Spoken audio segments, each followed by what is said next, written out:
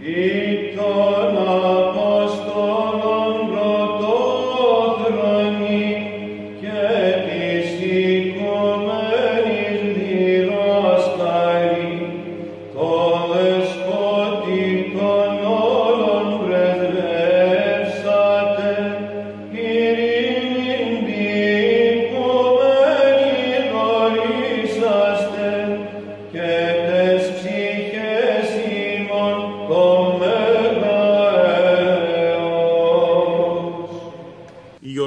πατέρες μου των Αγίων Πρωτοκορυφαίων Αποστόλων Πέτρου και Παύλου όπως βλέπετε πρέπει πάντοτε να γίνει μετά την Πεντηκοστή και του Αγίου Πνεύματος στην Μεγάλη Πανήγυρη.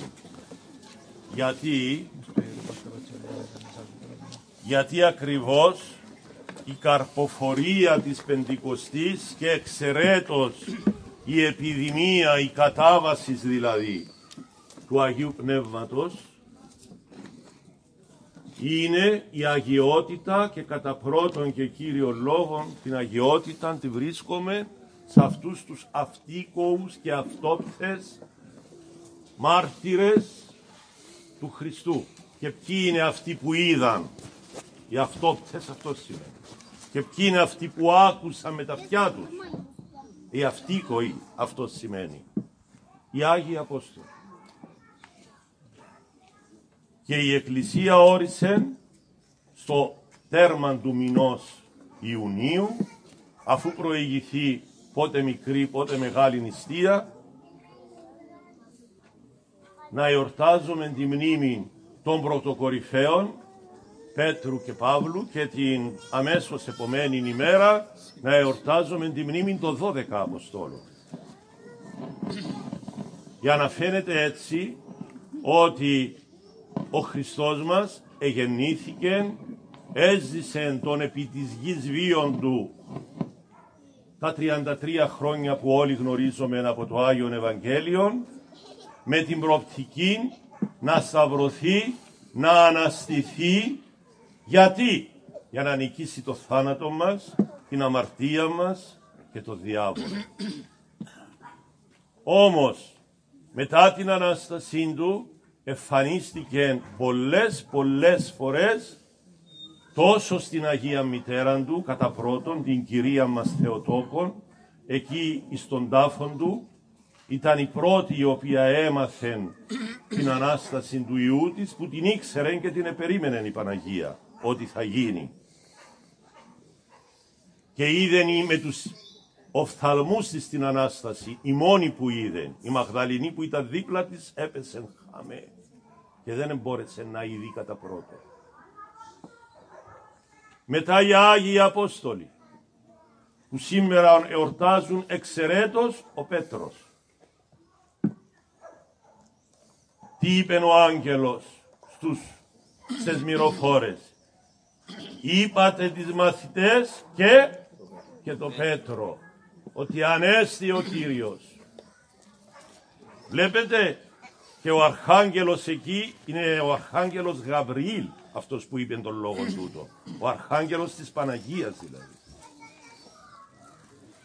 Μας καθοδη, καθοδηγεί ότι οι πρώτοι οι οποίοι έπρεπε να κηρύξουν την νίκη του Χριστού επί του θανάτου, επί του διαβόλου και επί της αμαρτίας θα είναι οι Άγιοι Απόστολοι, οι μαθητές του Χριστού. Με πρωτοκορυφαίων προεξάρχονταν των Απόστολων Πέτρων. Ο Απόστολος Παύλος, όπως ξέρουμε, εισήλθε στο Αποστολικό Κοινόβιο τόσο των 12 όσο και των 70 αργότερα μετά το όραμα της Δαμασκού που από διώχτης Σάβλος έγινε ευλογημένος μαθητής και μάλιστα πρωτοκορυφαίος μαθητής Παύλος. Ο Σάβλος έγινε Παύλος. Και ποιος τον βοήθησε σε αυτήν τη μεταμόρφωση και την είσοδο του στο Αποστολικό Κοινόβιο, ποιος βοήθησε τον Απόστολο Παύλο; Ο Απόστολος της Κύπρου, ο Απόστολος Βαρνάβας. Κατά θυμόμαστε αυτό. Και να υπάρχει στο κέντρο της καρδιάς μας βαθιά ευχαριστία σε αυτά τα Άγια πρόσωπα που μας έδωσαν ό,τι πολυτιμότερον έχει η ζωή μας. Το πολυτιμότερο δεν είναι η υγεία. Το ζήτημα δεν είναι να μην αρρωστήσουμε. Μια αναρρώστια θα την αποκτήσουμε. Πρέπει να την αποκτήσουμε. Για να πέσει μύτη μας. Να ταπεινωθούμε. Δεν υπάρχει άλλος τρόπος. Ή θα ταπεινωθούμε όσοι προοριζόμαστε για την αιώνια βασιλεία του Πατρός και του Ιού και του Αγίου Πνεύματος με μια ασθένεια ή και με πολλές ασθένειες. Θα φεύγει μια να έρχεται άλλη. Ή θα ταπεινωθούμε με μια συκοφαντία των ανθρώπων άδικη εναντίον μας ή με κάποια δεινά που θα επιτρέψει ο Θεός κατά το συμφέρον το αιώνιο, το αθάνατον για να μπορέσουμε να συμμετέχουμε και εμείς στην αγιότητα του Πατρός, του Ιού και του Αγίου Πνεύματος. Όπως συμμετείχαν οι Άγιοι Απόστολοι κατά πρώτον και οι Άγιες Μυροφόρες γυναίκες εκ δευτέρου. Βλέπετε ο Απόστολος Παύλος, αν προσέχετε, τώρα που έψαλαν τόσο ωραία τα καλά μας παιδιά εδώ, ξέρετε γιατί έγινε πρωτοκορυφαίος; Ο Πέτρος έγινε γιατί τον έκαμε ο Χριστός. Είναι κορυφαίος όχι ως εξουσία, ε, ως διακονία. Μετά ο Πάπας τα εχάλασε και έγινε ερετικός δυστυχώς. Όταν ενόμισε το πρωτίον του, είναι πρωτίον εξουσίας. Ε; Ενώ το πρωτίον του είναι πρωτίον διακονίας. Ε; Πώς με βάλετε εμένα δεσπότης σας; Και μου είπατε, θα είσαι νεόφιτε όπως σου χρόνια σου επιτρέψει ο Θεός, ο πρώτος μεταξύ των παπάδων. Αυτόν είμαι. Λίγο πιο πάνω.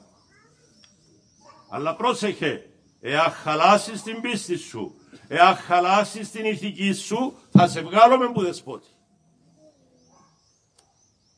Και αν δεν σε βγάλουμε εμείς από ευγένεια, θα επιτρέψει ο Θεός έναν τρόπο. Είτε με μια αρρώστια, είτε με μια συκοφαντία, είτε με κάτι άλλο που ο Θεός ξέρει πολύ καλά να, για τον καθένα μας τι είναι το αιώνιο του συμφέρον, θα το επιτρέψει αυτόν. Βλέπετε όλα έχουν αξία στο μέτρο που μας προετοιμάζουν για την αιώνια ζωή. Για την αθάνατη ζωή. Λέγεται αθάνατη γιατί δεν έχει θάνατο. Όλα τα υπόλοιπα είναι σχετικά. Και αρρώστιες και δοκιμασίες όλα. Ο Απόστολος Παύλος έγινε πρωτοκορυφαίος για τους κόπους του. Έτσι λέει στους ψαλμούς που εψάλαμε προηγουμένως. Ο Πέτρος έγινε γιατί του ο ίδιος ο Κύριος του το ανάθεσε.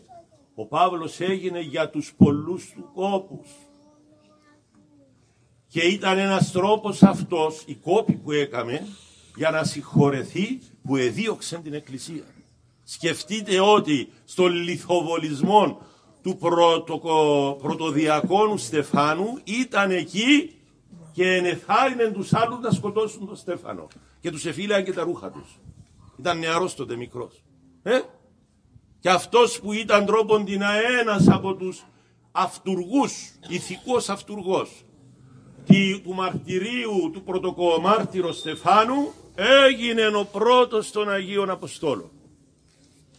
Και χρειάστηκε να δείξει στους Χριστούς Αποστόλους, τους κόπους του, την πίστη του και ήθελε και έναν άνθρωπο, όπως συμβαίνει συνήθως, να τον υποστηρίξει. Και ποιος ήταν ο άνθρωπος, ο Απόστολος όπως είπαμε της Κύπρου, Βαρνάβας.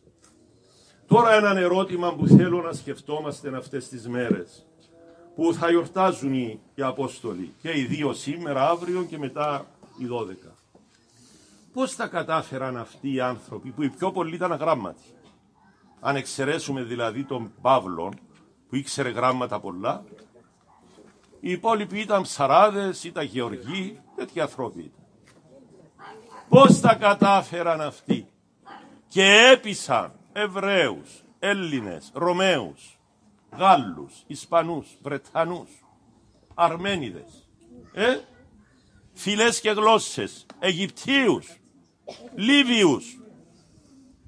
όλες αυτές τις φυλές της Μεσογείου και όλης της Ευρώπης. Πώς τα κατάφεραν τούτοι οι άνθρωποι μέσα σε τόσα λίγα χρόνια; Χωρίς διαδίκτυο, χωρίς τηλέφωνο φορητών, ούτε και ακίνητο, μ; χωρίς τεχνολογία. Πώς σε κατάφεραν και έκαμαν αυτούς τους περίφημους αρχαίους Αιγυπτίους που έκαναν τις πυραμίδες, τους αρχαίους Έλληνες που έκαναν τον Παρθενώνα, τους αρχαίους Ρωμαίους που έκαναν το Κολοσσέο και το καλύτερο οδικό σύστημα που έγινε ποτέ στον κόσμο. Οι Ρωμαίοι το έκαναν. Τους φιλόσοφους της Ελλάδας πώς σε κατάφεραν αυτοί οι ψαράδες.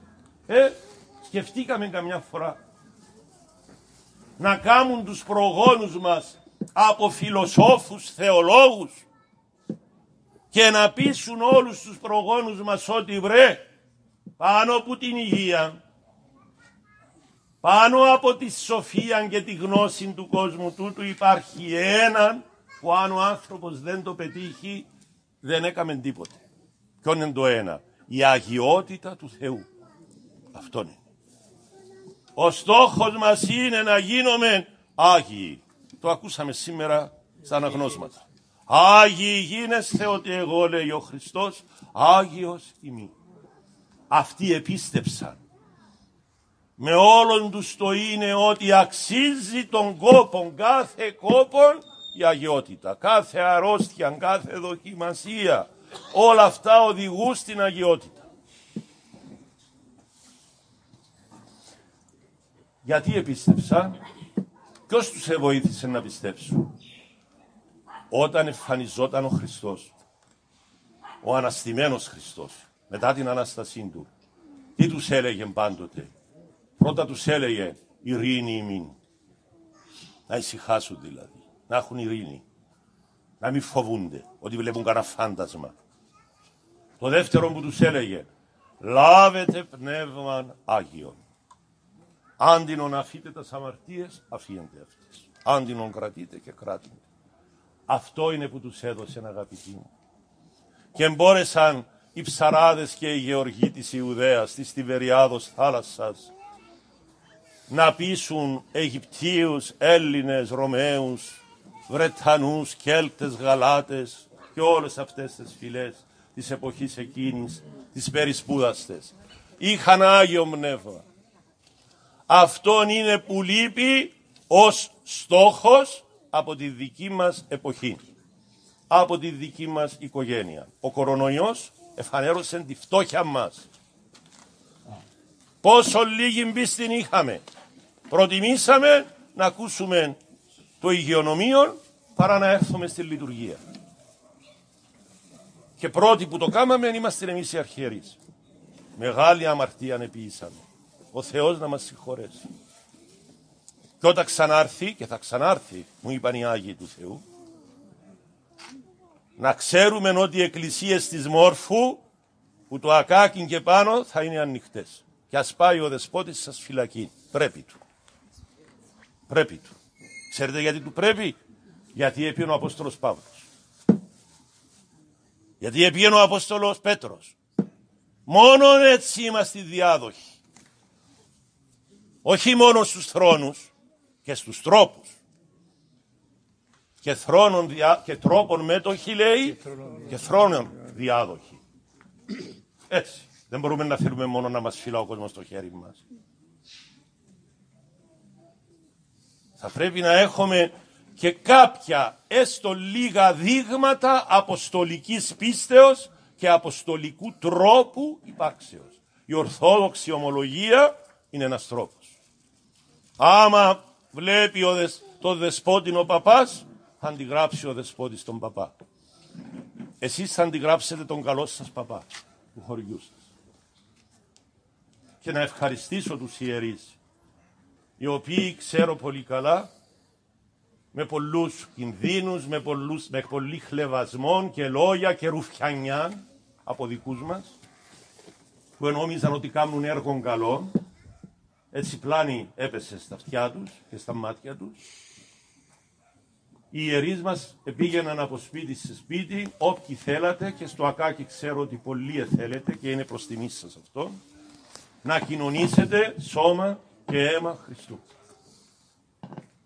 Και έτσι αυτό που δεν μπορούσαμε να σας δώσουμε εντός του ναού, το εκάματε και το σώμα σας και το σπίτι σας ναών του Αγίου Πνεύματος. Κατοίκον Εκκλησία.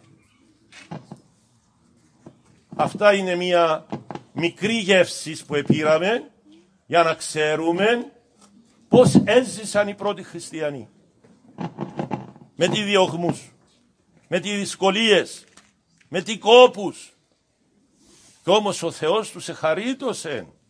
Και ποιοι ενίκησαν τελικά.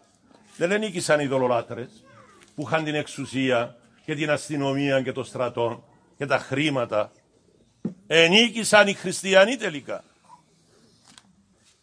Πούν τους αρχαίους Αιγυπτίους. Πούν τους αρχαίους Έλληνες.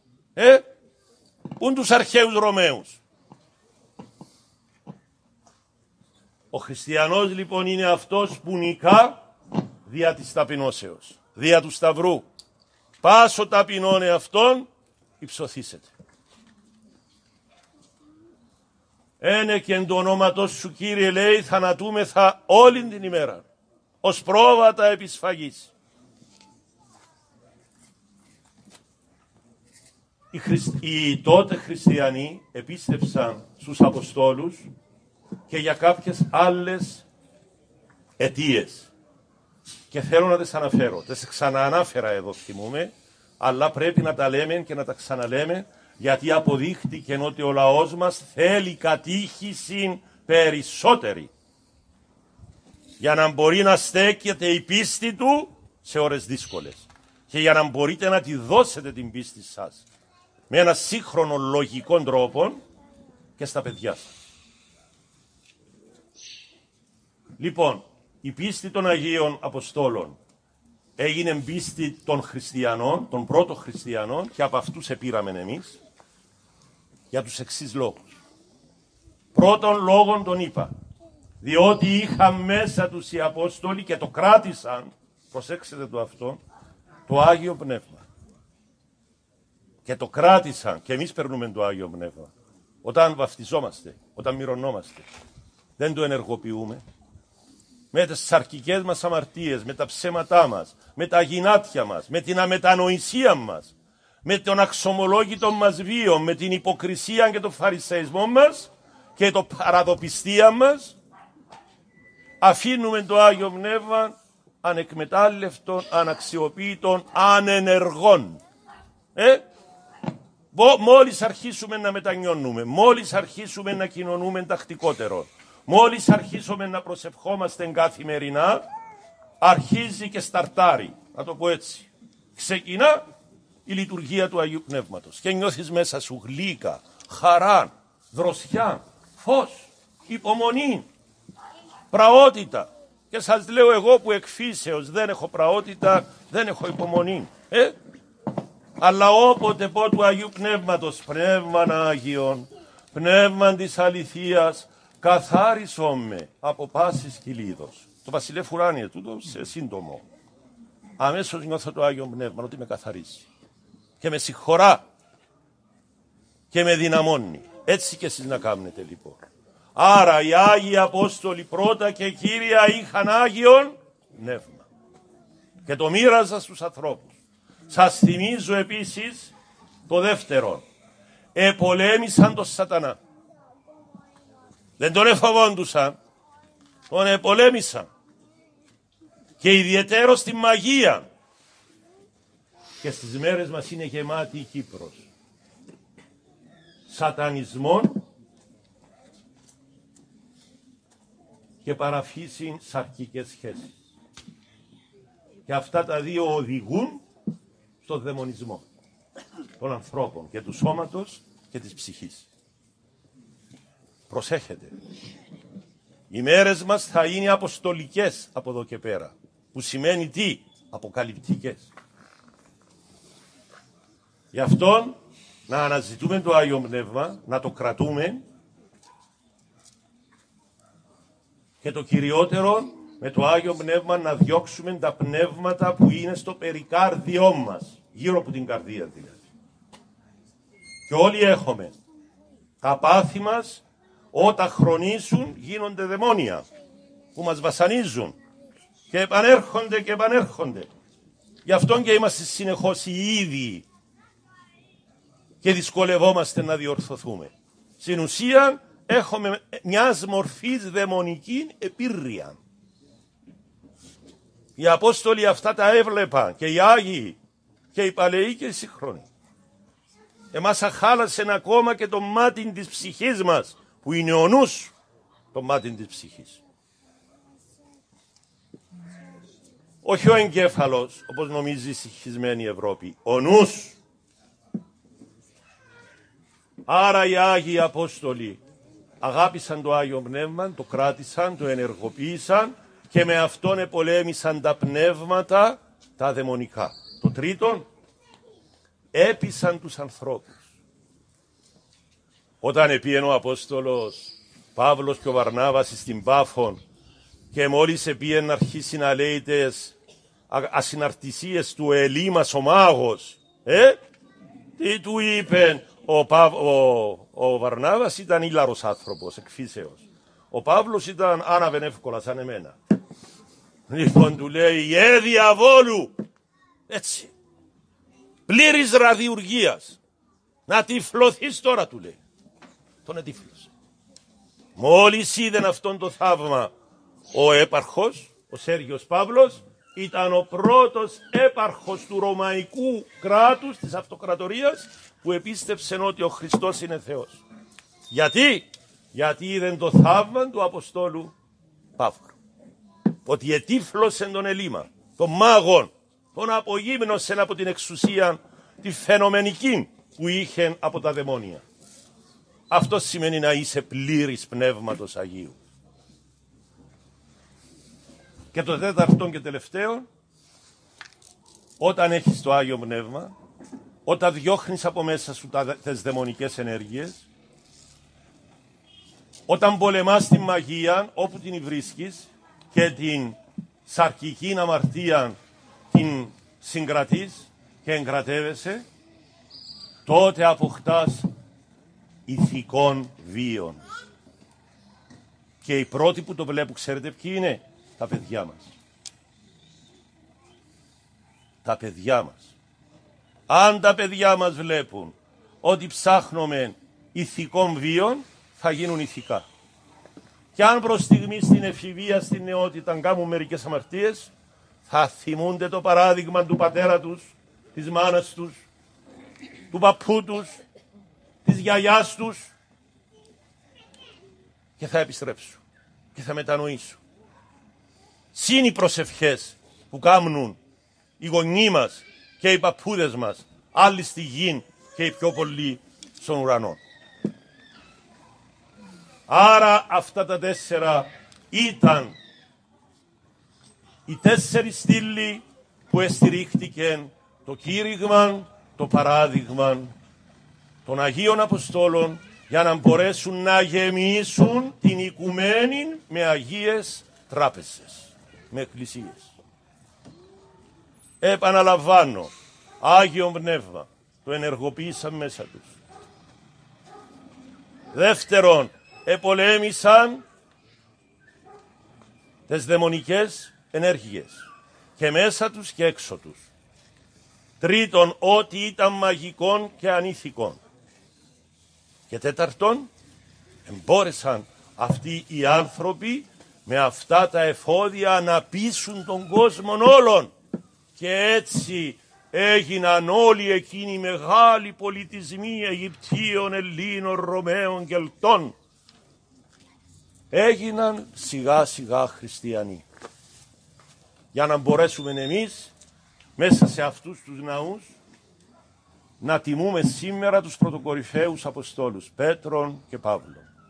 Εύχομαι οι χάρις τους να εμπνέουν και τη δική σας ζωή, όποια δυσκολία έρθει στους επόμενους μήνες, τα επόμενα χρόνια, να την αντιμετωπίσουμε σαν εξετάσεις. Όχι ως τιμωρία, ως εξετάσεις, ως εχείριση απαραίτητη για να καθαριστεί, όπως λένε και οι γιαγιάδες μας, το πελόν αίμα. Και να ενεργοποιηθεί το αίμα του Χριστού, το σώμα του Χριστού, που το παίρνουμε στην κάθε λειτουργία και δεν μολύνει, όπως είπαν μερικοί. Και το αντίδωρο, ελπίζω ο Πάτερ Κωνσταντίνο να μην το τυλίεται. Ό,τι προσφέρει η Εκκλησία είναι γεμάτο χάρη Θεού. Έξω από την Εκκλησία μπορούμε να αρρωστήσουμε, να κολλήσουμε. Πρώτος ο Δεσπότης. Αλλά μέσα στην Εκκλησία αυτό που παίρνουμε είναι την ενέργεια του Αγίου Πνεύματος. Έτσι πολλά ευλογημένα, γεμάτα πνεύμα Άγιον και αποστολική ομολογία. Θα κάτσω εδώ, πονώ το πόδι μου. Άμα κάνω κήρυγμα, δεν πονώ το πόδι μου. Ένα μυστήριο είναι το πράγμα. Ναι. Άμα δεν κάνω κήρυγμα, συνέχεια θέλω να κάθουμε. Λοιπόν, τώρα μόλις είπα ότι θα τελειώσω, εκόνησα το πόδι μου. Λοιπόν, θα κάτσω εδώ, να παίρνετε ευχήν από τους Αποστόλους, να παίρνετε και από εμάς τους Ελέηνους και να σας ραντίζουν και γιορτάριδες.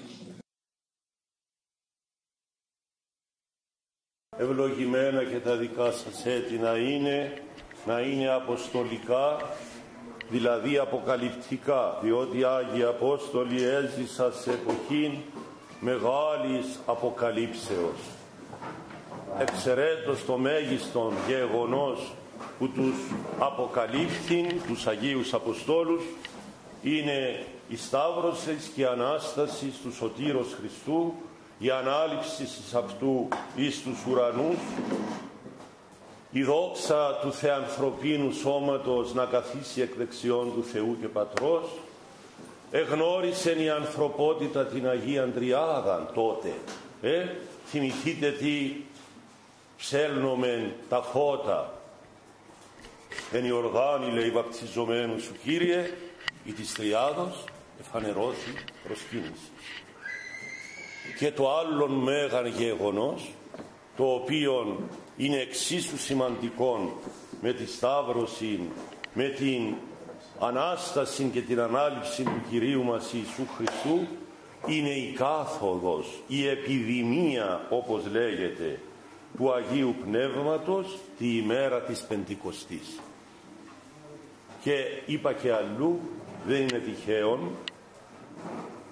που όρισαν οι Άγιοι Πατέρες μας, ή τα πάντα καλώς διαταξάμενοι, να εορτάζουμε την εορτήν ταύτη των Αγίων Αποστόλων, πρώτα των πρωτοκορυφαίων, Πέτρου και Παύλου, σήμερα τη σύναξη όλων των 12 Αποστόλων.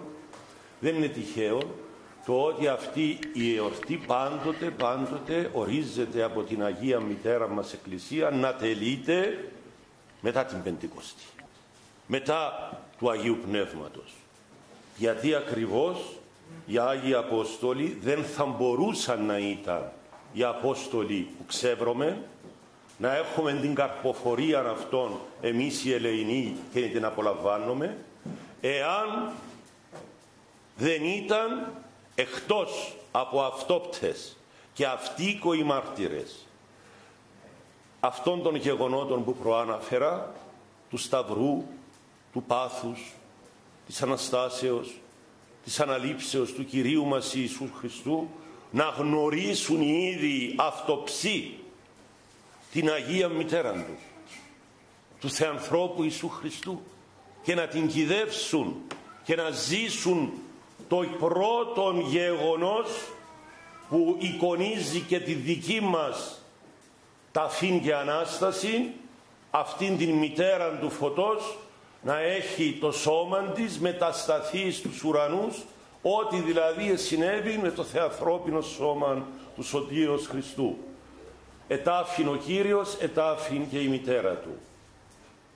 Αναστήθηκε ο Κύριος, αναστήθηκε και η Αγία Μητέρα του.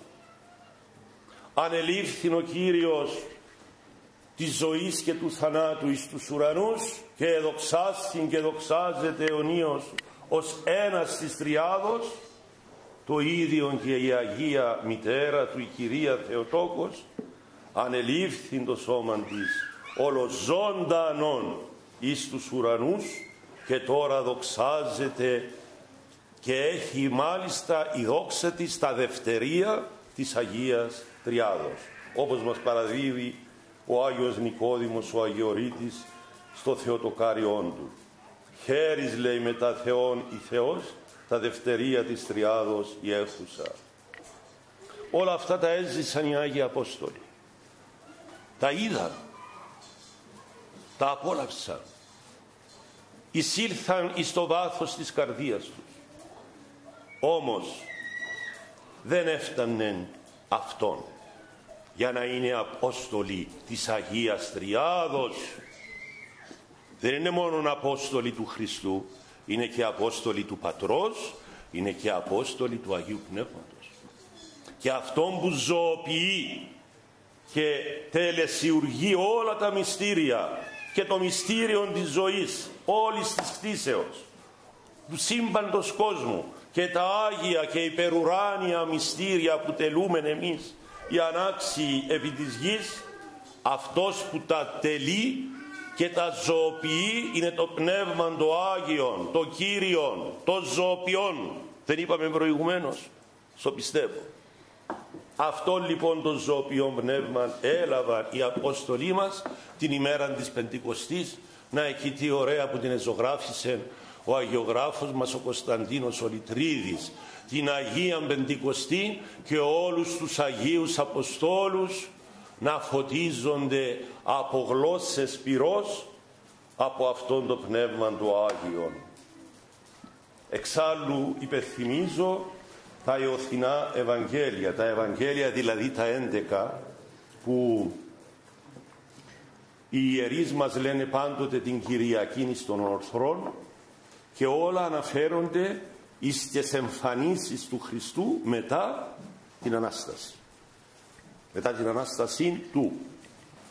Σε πολλά από τα εωθινά αυτά αναστάσιμα Ευαγγέλια ακούουμε τον Κύριο όταν εμφανίζεται να λέει πρώτα στους μαθητές του ειρήνη πάση, τους ειρηνεύει, τους καθησυχάζει, τους δίδει την ειρήνη τη δική του και ύστερα τι τους λέει. Λάβετε πνεύμα Άγιο άντινον αφίετε τις αμαρτίες αφίεντε αυτής. Άντινον κρατήντε και κράτηντε πορευθέντες λέει μαθητεύσατε πάντα τα έθνη. Τους αποστέλνει ο Κύριος του ουρανού και της γης Ιησούς Χριστός εν πνεύματι Αγίο αυτό είναι το σημαντικό που πρέπει να θυμούμαστε ότι αυτοί οι Άγιοι Απόστολοι και οι δώδεκα και οι εβδομήκοντα και η Αγία Μαρία η μητέρα του Ευαγγελιστή Μάρκου που σήμερα γιορτάζει Κυπρία αυτή που φιλοξένησε τον μυστικό δείπνο στο σπίτι της και την πεντηκοστή στο σπίτι της, το υπερόν όπως ψάλλαν προηγουμένως οι ψάλτες μας. Όλοι αυτοί, αλλά και οι νεότεροι Άγιοι, μέχρι τις μέρες μας, ο Άγιος απέναντί μας, Ιάκωβος, ο Ενεβία, ο Πορφύριος, ο Παΐσιος, τι ωραία τους εζωγράφησε εδώ όλους, ο Άγιος Νικηφόρος, ο Άγιος Φιλούμενος, ο Άγιος Νεκτάριος, του 20ου αιώνος Άγιοι. Για να είναι Άγιοι έπρεπε να επιδιώξουν, να αγωνιστούν, να αποκτήσουν το Άγιο Πνεύμα. Χωρίς το Άγιο Πνεύμα κανείς δεν γίνεται Άγιος. Κανένα μυστήριο δεν τελεσιουργείται. Γιατί, γιατί είναι το Άγιο Πνεύμα αυτό που θα καθαρίσει από τις δαιμονικές ενέργειες στην καρδία του καθενός μας. Λίγοι λένε, δεν τολμούν πολύ να πούν σήμερα για το δαίμονα. Λες και έχει ψοφήσει. Και όμως ξέρετε πόσον επηρεάζει και τον εαυτό μας και την καρδία μας όχι στο κέντρο της καρδίας στο περικάρδιο. Δεν μπορεί σε έναν Ορθόδοξο που έλαβε το Άγιο Πνεύμα την ώρα του βαπτίσματος και του χρήσματος να εισέλθει στο κέντρο της καρδίας γιατί δεν μπορεί γιατί εκεί είναι το Άγιο Πνεύμα σε κάθε Ορθόδοξο και μόνος στον Ορθόδοξο. Γιατί μόνο ο Ορθόδοξος μπορεί να αγιάσει. Γιατί είναι ο μόνος που έχει την αληθινή πίστη και την αληθινή θεραπευτική αγωγή να καθαρίσει ακόμη και το περικάρδιόν του με τη δύναμη του Αγίου Πνεύματος που κατοικεί στο κέντρο της καρδίας επαναλαμβάνω το Άγιο Πνεύμα είναι ο μόνος που μπορεί να καθαρίσει το περικάρδιόν του και όλον του το σώμα και όλη του τη ψυχή από τις δαιμονικές ενεργείες. Σκεφτείτε πόσο δυσκολεύονται οι μη ορθόδοξοι. Οι άλλες θρησκείες δηλαδή. Και τα άλλα δόγματα που έχουν πλανηθεί περί την Ορθόδοξη πίστη. Πόσο δυσκολεύονται να καθαρίσουν ακόμα και οι καλοπροαίρετοι μουσουλμάνοι που υπάρχουν. Οι καλοπροαίρετοι Ινδοί, ε, οι καλοπροαίρετοι καθολικοί και προτεστάντες που και εκεί υπάρχουν καλοί άνθρωποι. Δεν φτάνει η καλοσύνη μας. Χρειάζεται να συνεργαστούμε με το Πνεύμα του Άγιο οι Άγιοι Απόστολοι αυτών το ήξευραν, τους το είπε ο ίδιος ο Κύριος μας Ιησούς Χριστός. Και άλλων παράκλητων τους είπε θα σας στείλω και να αποκτήσετε το πλήρωμα της αληθείας να μάθετε όλη την αλήθεια. Τι σημαίνει πατήρ, τι σημαίνει Υιός, τι σημαίνει Άγιο Πνεύμα, τι σημαίνει ζωή, τι σημαίνει θάνατος, τι σημαίνει αγιότητα, Μόνο το Άγιο Πνεύμα μπορεί όχι μόνο να μας διδάξει, να μας φωτίσει και να μας οδηγήσει στην αγιότητα. Δεν σας κάνει εντύπωση ότι ο Χριστός για να μας δείξει ότι δίχα του Αγίου Πνεύματος ουδήναστε ποιήν ουδέν ποιους διαλέγει μαθητές του; Αγράμματους ψαράδες και γεωργούς αν εξαιρέσεις τον Παύλο ε, οι υπόλοιποι όλοι ήταν ολιγογράμματοι μέχρι αγράμματοι. Στον 20ο αιώνα ποιους εξεχώρισε και έκαμε μεγάλους Αγίους. Τον Παΐσιο, τον Πορφύριο, τον Ιάκωβο. Ο μόνος που εспούδασε και έμαθε γράμματα πολλά και δεν καταχρονούμε τα γράμματα αλλά να μην τα πολιτοποιούμε και να νομίζουμε ότι με τα πτυχία μας που έρχεται η αγιότητα ήταν ο Άγιος Νεκτάριος στον 20ο αιώνα και ο Άγιος Λουκάς της Κρυμαίας στη Ρωσία. Οι περισσότεροι, δεν λέω όλοι, οι περισσότεροι ήταν από ολιγογράμματοι ως αγράμματοι. Για να μας φανερώσει ο Χριστός ότι ο στόχος μας δεν θα είναι τα πτυχία και τα δοκτοράτα όπως μας εξεγέλασε η νεκατωμένη Ευρώπη αλλά ο στόχος μας πρέπει να είναι το Πνεύμα του Άγιο. Πως να το ενεργοποιήσουμε μέσα στην καρδία μας. Λέω μια λέξη για να καταλαβαίνουν οι νεότεροι. Να το σταρτάρουμε. Πως έχουμε μια γεννήτρια στο περιβόλι μας που αν δεν την ξεκινήσουμε δεν θα δώσει φως. Το ίδιο είναι το Πνεύμα του Άγιο. Για να ξεκινήσει να φωτίζει πρέπει εμείς να το ενεργοποιήσουμε αφού μας το έδωσε η Εκκλησία την ώρα του βαφτίσματος και του χρήσματος εξαιρέτως σφραγής δωρεάς Πνεύματος Αγίου και σταυρώνει ο ιερέας με Άγιον Μύρο το μικρό παιδί. Άρα οι Άγιοι Απόστολοι ήταν αυτοί που ενεργοποίησαν το Άγιο Πνεύμα που έλαβαν. Το τρίτον το οποίο διακρίνω στους Αγίους Αποστόλους και σε κάθε άνθρωπο του Θεού κάθε εποχής. Διότι κάθε Άγιος είναι Απόστολος της εποχής του.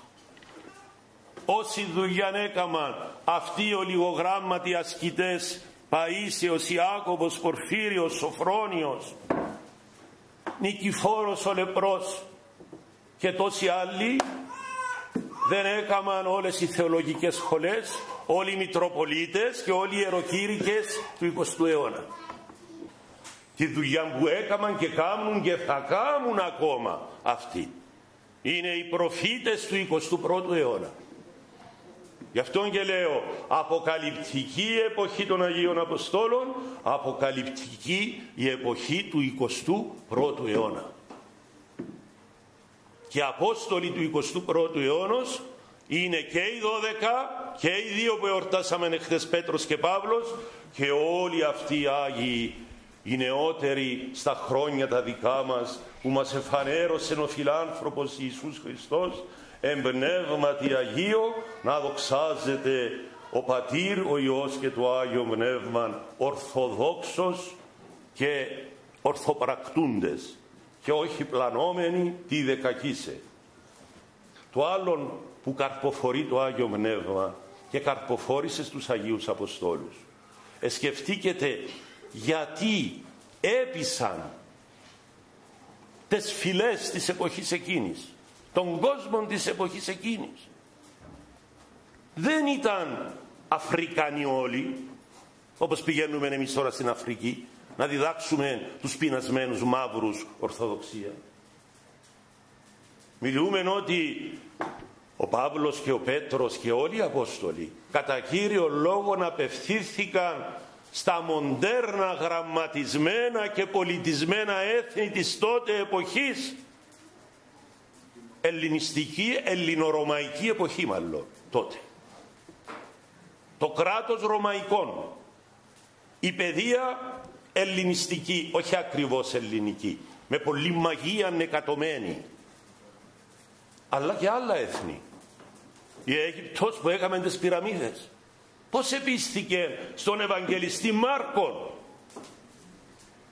Αυτός ήταν ο φωτιστής της. Ένας Κύπριος Ευαγγελιστής που σήμερα γιορτάζει η μάνα του, η Μαρία. Πώς επίστηκαν οι Αιγύπτιοι, οι σοφοί, σε αυτόν τον Μάρκον. Πώς επίστηκαν οι Ρωμαίοι και οι Αθηναίοι, οι σοφοί, οι φιλόσοφοι, και οι Ρωμαίοι που έκαναν το ρωμαϊκό δίκαιο το οποίο μέχρι σήμερα το διδασκόμεθα στην νομική. Πώς επίστηκαν στον Παύλο, στον Πέτρον το ψαρά, οι Ισπανοί, οι Γάλλοι, οι τότε Γάλλοι, οι τότε Βρετανοί σε έναν άλλον Κύπριο, τον Αριστόβουλο, αδελφόν του Αποστόλου Βαρνάβου.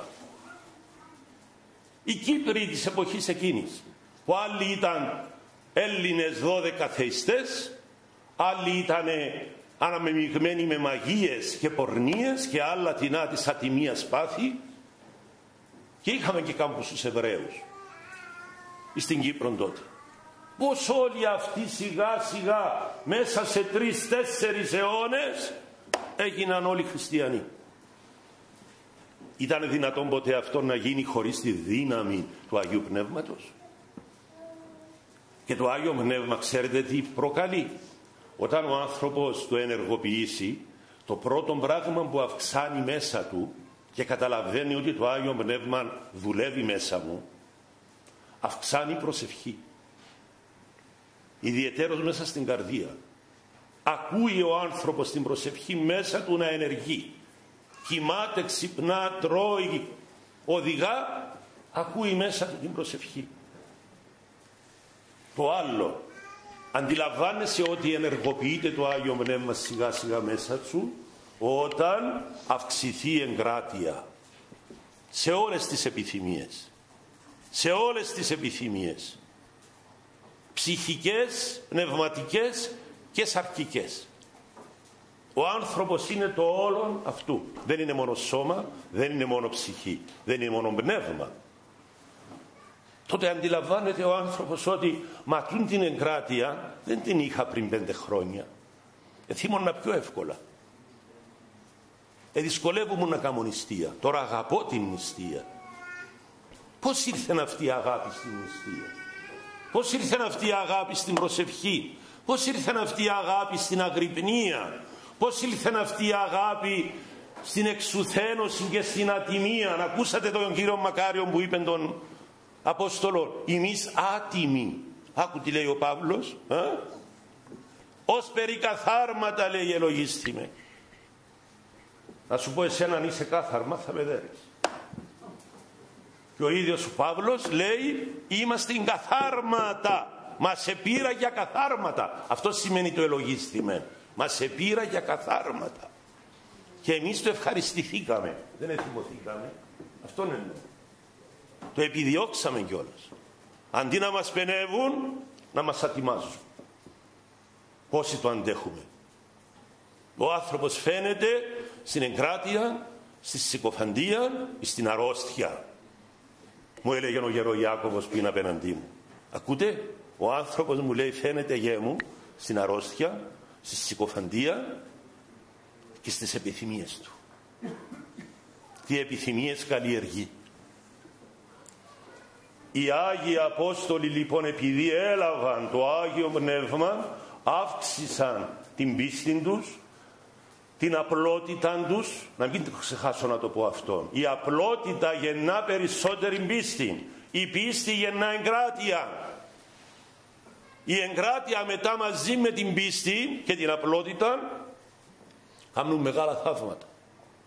Είδατε με τι ευκολία ο Παύλος ετύφλωσε τον Ελίμανη στην Πάφο. Του είπε «Ενιέ διαβόλου, ου φρονίστατο Θεού, αλλά τα των ανθρώπων» να τυφλωθείς τώρα αμέσως. Και τυφλώθηκε. Και έτσι επίστεψε ο Σέργιος Παύλος. Ο πρώτος διοικητής του Ρωμαϊκού κράτους που επίστευσε. Ήταν ο Σέργιος Παύλος στην Πάφο παρακαλώ. Αλλά για να πιστέψει έπρεπε να δει θαύμα. Και όταν είδε το θαύμα του Αποστόλου των Εθνών Παύλου αμέσως επίστεψε. Αυτή είναι η καρποφορία του Αγίου Πνεύματος. Και η πίστης στο Σταυρό και στην Ανάσταση του Σωτήρος Χριστού. Όλα αυτά συν ακόμα κάτι το οποίο πολλοί το ξεχνούν. Πώς έγινε η μεγάλη αλλαγή; Από ειδωλολάτρες οι πρόγονοί μας να γίνουν χριστιανοί. Βεβαίως με το κήρυγμα το Αποστολικό. Βεβαίως με το Πνεύμα του Άγιον που ενικούσε και συνεργαζόταν με τις καρδίες των Αγίων Αποστόλων βεβαίως με την εγκράτεια, με την προσευχή και όλους τους καρπούς του Αγίου Πνεύματος που απέκτησαν οι Άγιοι Απόστολοι και όλοι οι Άγιοι όλων των εποχών. Έτσι που να είναι και θρόνων διάδοχοι και τρόπων μέτοχοι. Όμως είναι και κάτι τελευταίο. Ο ηθικός βίος των χριστιανών έπεισε τους ανήθικους ότι αξίζει τον κόπο να εγκαταλείψω τις κακές ανήθικες συνήθειές μου και να γίνω χριστιανός. Το παράδειγμα δηλαδή των πρώτων χριστιανών. Όταν λέει αρρώστησε, να σας πω ένα για να καταλάβετε. Αρρώστησε η κόρη του Ρωμαίου αυτοκράτορα οι μάγοι που ήταν γύρω του αυτοκράτορα, οι δολάτρες και οι ψευτοιατροί έφυγαν. Όπως τώρα πολλοί έφυγαν που το φόβο τους λόγω κορονοϊού. Ποιοι πήγαν και έβλεπαν την κόρη, τη λεπρίν του αυτοκράτορα. Εζήτησαν οι χριστιανοί που τους είχε συλλάβει και τους έβαλε φυλακή λέει να μας αφήσει ο αυτοκράτορας σε αυτήν την καημένη την κοπέλα που έχει τόσους πόνους και είναι μόνη της να τις κάνουμε εμείς συντροφιά να τις παίρνουμε και λίγο φαγητό να φάει και δέχτηκε ο αυτοκράτορας και είπε μπράβο τους χριστιανούς. Έχουν αγάπη. Δεν φοβούνται τις αρρώστιες. Δεν φοβούνται το θάνατο. Δεν φοβούνται αν κολλήσουν λέπρα. Ο ίδιος πήγαινε από απόσταση να δει την κόρη του. Ενώ οι χριστιανοί δίπλα-δίπλα. Και την ετάιζαν και την έλουζαν και έτρωγαν μαζί της. Ε, και σιγά σιγά ενδιαφέρθηκε η κοπέλα δροσιής λέγεται η κόρη του. Σου λέει ποια την έχετε εσείς στο Χριστό ποιος είναι αυτός ο Χριστός; Και σιγά σιγά επίστεψε η κόρη και βαφτίστηκε η κόρη του Ρωμαίου διώχτη αυτοκράτορα. Και αμέσως σε συνέστηλε τον διωγμό ο αυτοκράτορας και λέει άμα έχουν έτσι αγάπη οι χριστιανοί και η πίστη τους κάνει θαύματα θεραπεύτηκε η κόρη του με τις προσευχές των χριστιανών και τα ευχέλαια και τις λειτουργίες. Βλέπετε ο αυτοκράτορας ήταν ξύπνιος τότε. Δεν έκλεισε τις εκκλησίες. Τις άνοιξε.